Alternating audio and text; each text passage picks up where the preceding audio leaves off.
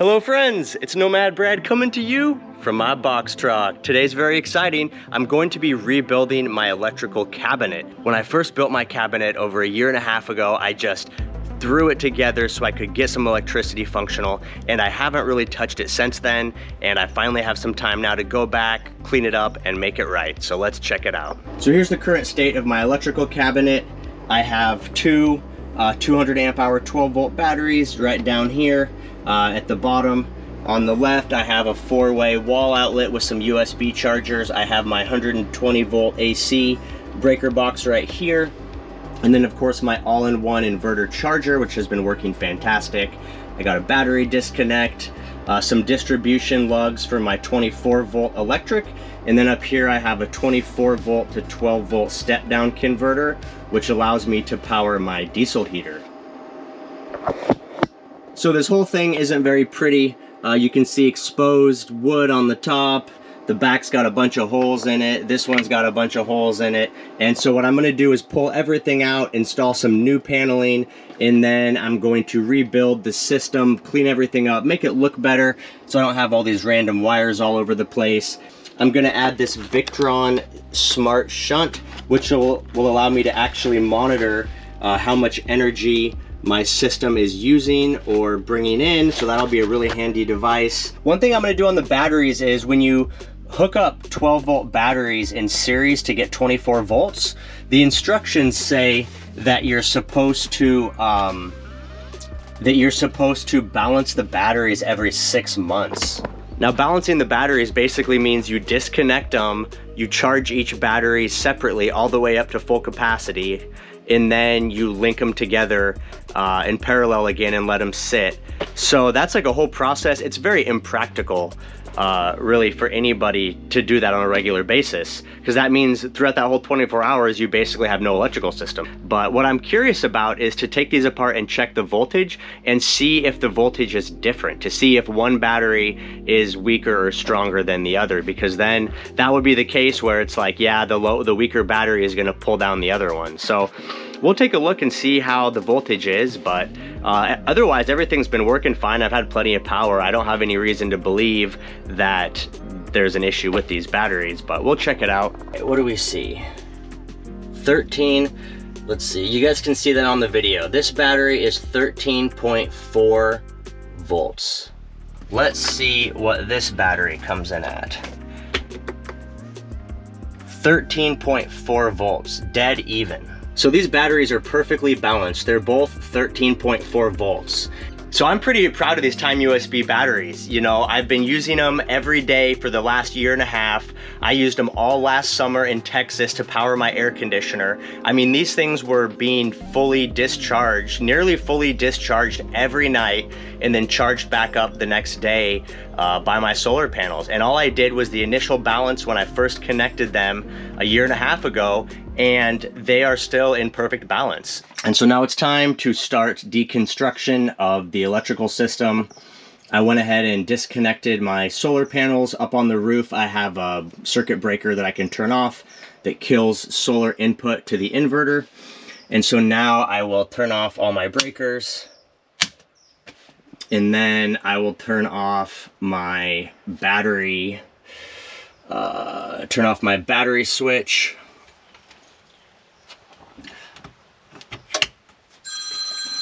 and that will pretty much kill everything.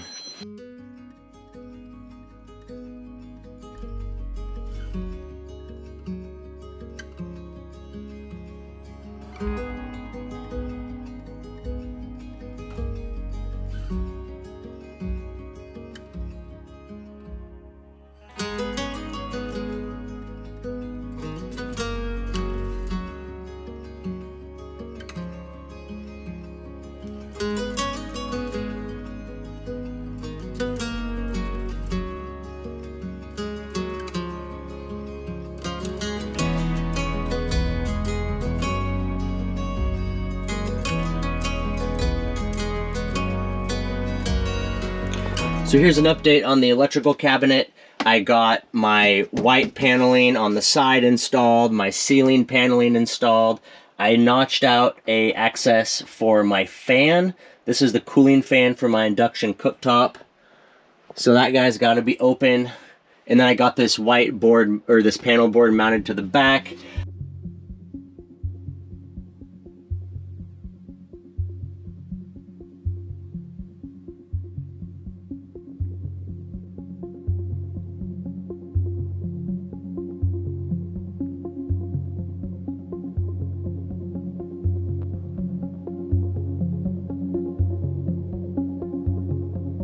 I'm back at it, day two.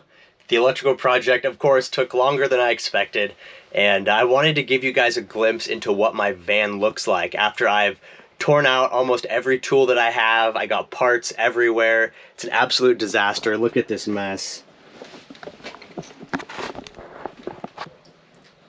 Got all my tools, my wiring. Look at this. You guys always see the van when it's clean and organized, which is normally how it is, but when you're in the middle of a remodel and you don't have much space anyway, you just got stuff all over the place. So here's a look at the cabinet. Here's where we got on uh, kind of the first day. I got the inverter powered back up so I could run my lights and all my some of my electrical appliances. We got most of the low voltage done. Uh, I gotta keep going on the 110 volt circuits.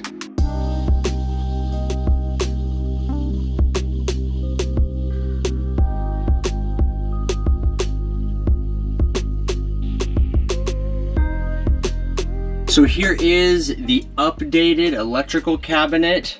Tell me what you guys think. I'm super happy with how it turned out.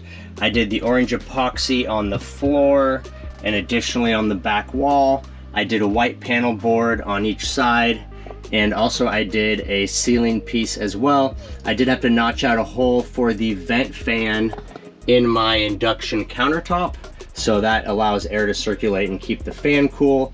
At some point I'll add a uh, another cutout in the side and put a little cooling fan in just to help circulate air but for now it's finished. And so I'll just kind of walk you guys through the different components here, how they all operate, so you can see what I did for a simple box truck electrical system. So again, I have the all-in-one SunGold Power 3000 watt inverter charger. That brings in the solar power from my panels. It brings in the 110 volt shore power if I plug in outside. And additionally, it uh, it works as an inverter, so it's connected to my batteries, which are underneath this cabinet. I have two 12.8 volt, 200 amp hour time USB batteries, two of them wired in series into a 24 volt battery bank. And so the way it works, I have all my cabling coming up out of the floor. So I have my power line coming from the battery up and over. It goes through a fuse. Uh, this is ultimately to protect the entire system. So if something happens and the batteries get shorted out uh, or there's a, a short to ground, it'll blow this fuse and it will basically just cut off all the battery power.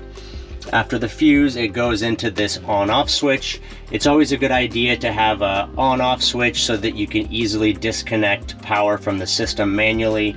If you just turn it up, that uh, cuts the battery power, turn it back on, that allows the battery power to flow. And then after we go through the on-off switch, the power comes over and it goes to this bus bar and so the bus bar is basically just a hub where that energy can be distributed out to different components. So off the bus bar, I have one lead that's running down to my refrigerator because I do have a 24 volt refrigerator. So I got one lead coming out for the fridge. And then also on the bus bar on the top, I have one lead that's coming out it's going down over to the opposite side of my van and that's where I have my water pump and my a few LED lights and other things connected. So this lead goes down under the floor to the other side. And then off of this bus bar, off of this bus bar, I have another lead, which is going up to this step down converter. So when you have a 24 volt battery bank, all your regular 12 volt devices like a water pump, LED lights, MaxxFan have to be run off a step down converter. So that's what that piece does. It powers all my 12 volt devices. So those are all the different power points that split off of my bus bar. And then from the bus bar, we go up into my SunGold Power inverter charger. And so whether it's uh, pulling power from the battery or sending power to the battery. It all runs through these uh, large cables here. So I have these two leads for my battery. And then additionally on this side, this is where my solar wires come in. So I have a positive and negative off of my 1200 watt solar bank. And then over on this side, I have AC out and also AC in. So the AC inside, this is going, this is coming from my shore power which runs down underneath the van. And then on the other side of the van, I have a shore power plug installed. So if I want to plug in somewhere to an outlet, then it comes right up into this device and it powers all my 110 appliances and outlets and also charges my batteries. And then over here, this is my AC output. So whether I'm running off of shore power or if I'm running off solar power, right now my battery is fully charged. If I'm running off solar power, then it converts that voltage or the battery voltage to 110, and then that 110 flows out and it goes up into my breaker box. And so this is a 120 volt breaker box. I have, right now I have four circuits uh, that are set up. I have all of my grounds over here on the ground bus. I have my neutrals up here on a neutral bus. Those are all the white wires. And then all the power wires for the breakers individually um, come from this splitter. So my 110 comes in, it goes into this distribution hub, and then from here, it's distributed out to each circuit breaker. So I have my outlets and my air conditioner, which is currently off, and another bank of outlets. And this one is just an extra, it's not currently in use. And from here we go up. I have one outlet box right in here. So eventually I'll build a shelf on the wall so I can uh, put like my GoPro and all my camera batteries and, and other little devices I need to charge. They'll charge on the shelf and plug in right here. This is also where I plug in my battery charger for my electric drill and a few other things. So this outlet box stays here. And then uh, up above, I have a line here that goes up to my kitchen exhaust hood and my LED strip lights. And then over here, uh, this line right here goes up to the countertop and I'll show you guys what that looks like. So coming up to the countertop, uh, I ran this device right up, mounted it to the wall. And so this is a one, two, three, four, five, six there's also two on the bottom, eight. This is an eight-way outlet. And then also it has USB hubs on the side as well. So this is my kitchen outlet now. I have a spot to run my blender and my Instant Pot and whatever cooking appliances I want to use. Also, I'll probably be plugging in my iPhone right up here and uh, some other things. Just a convenient spot to have all my electrical devices. And then additionally, I was able to connect this outlet as well. So now I have more USBs and 110s over here. So this is my computer workstation. And so now when I'm working here on my laptop, I can run my power cable down and plug my laptop right into the wall over there.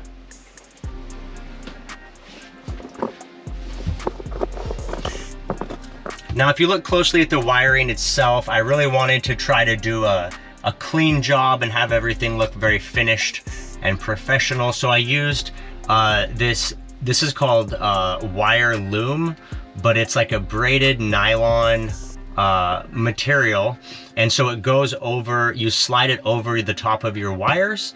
And so it gives it just kind of a, it's a little bit protective, uh, and, but then also it gives it just a nice look, a nice aesthetic, a nice finished uh, appearance. So I went ahead and added loom to all the wires. And I also, of course, used heat shrink to hold all the loom and the wires in place just to keep things from moving around. So all my connections have loom and then also heat shrink. And then I used uh, zip ties. I used zip ties to make little wire organizers. So these zip tie organizers just help space all the wiring out and it keeps stuff from getting all bunched together and tangled. So you can see all the wires follow a nice path. They're easy to trace out. This one over here looks a little a little less organized, but overall it still it still functions really nice. And then the thing I'm most excited about, the reason I really did this um, remodel is I wanted to add this shunt. And so this is the Victron Smart Shunt. And what this does is this is basically a battery monitor. So it allows me to look and see what kind of um, energy is flowing in and out of my system and just monitor the health of my battery. So I'll show you guys what that looks like.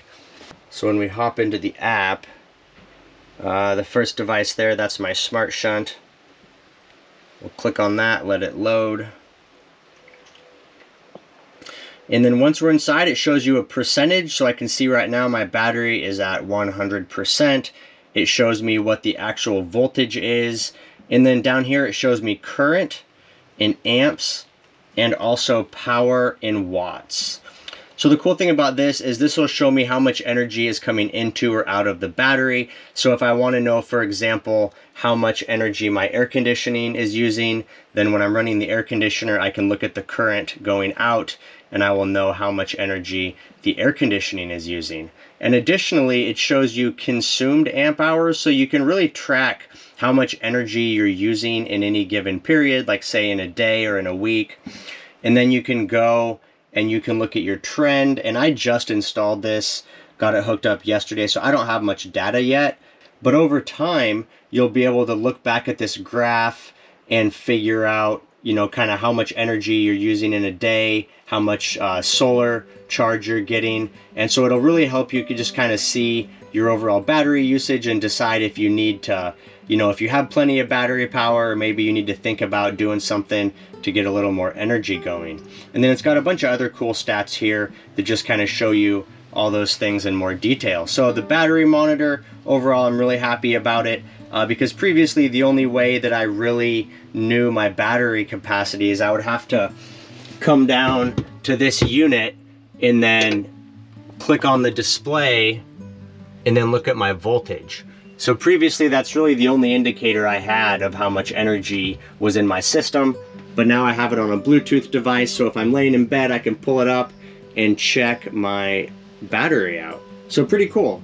So I'm really happy with it. I love the way the new cabinet turned out. If you look at it before and an after picture, it's a night and day difference. And since my business is installing electrical and solar for people, I wanted to have a system in my van that kind of showed uh, you know, a clean job that I do and not just something that was kind of cobbled together. And so, you know, I don't do, I don't do just scrap together systems like that for my clients, but on this one, I just installed it in a hurry two years ago and I never went back to fix it up. And so when people would ask to see my electrical cabinet, I was always self-conscious about it because it looks, it looked like crap and I wasn't proud of how it looked. So now I have a system that looks really nice, it functions really nice, although it still functioned perfect before, but now it looks really nice. And so uh, if a client or a prospective client wants to see what kind of work I do, what kind of installations I do, now I can show them this and be pretty proud of what I got going on. So what do you guys think about the transformation? Leave a comment, tell me if you like it or not. And uh, if you have any questions about the way this operates or any of the um, components that I have in here, how they work, just leave a comment and I'll get back to you. Thanks, guys.